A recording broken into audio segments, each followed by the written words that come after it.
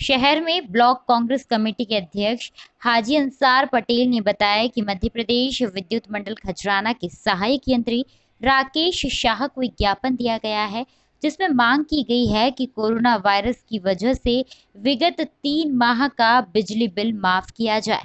एवं बिल भी बहुत ज़्यादा आ रहा है, जिसका भर पाना फ़िलहाल संभव नहीं है, क्योंकि तीन माह से लोग घर में ही बैठे हैं। इसलिए उन्होंने तीन माह का बिजली का बिल माफ़ करने की मांग की। ज्ञापन देने में प्रमुख रूप से पार्षद हाजी उस्मान पटेल, पार्षद रुबीना इकबाल खान, चेतन मुकात, अमन पटेल मौजूद रहे। मेरा तो सर से ये निवेदन है कि जैसा कि अंसार भाई ने बताया कि काम धंधा नहीं है, लोगों में परेशानी है भी खाने की परेशानी हो रही है तो बिल कहाँ से भरेंगे? दूसरी बात सर मुझसे मैं ये कहना चाहती हूँ कि एक वो धमकी भरे मैसेज चल रहा है। मैसेज में साफ़ लिखा हुआ आया है, इक्कीस तारीख का है और अगर आप इतने दिन में नहीं भरते हैं तो आपकी लाइट काट जाए, काट दी जाएगी।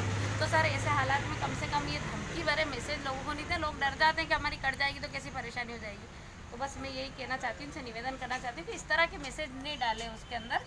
लोगों की सहूलियत होगी तो बाद में हो सकता है, कभी थोड़ा बहुत तीन महीने का तो माफ़ी कर दें और उसके बाद भी अगर लॉकडाउन रहता है तो उसको थोड़ा थोड़ा किस्तों में आप वसूल कर लें। तो बस यही निवेदन है। विद्युत मंडल के सहायक यंत्री श्री राकेश शाह जी को ज्ञापन दिया गया, जिसमें हमारे पार्षद हाजी उस्मान पटेल और हमारी पार्षद भाभी रूबीना इकबाल साहब, रूबीना इकबाल खान साहब और हमारे चेतन मुकाती जी और हम चार लोग आए और हमने मांग की है कि पूरे खजराना क्षेत्र में तीन महीने से लोग गरीब है।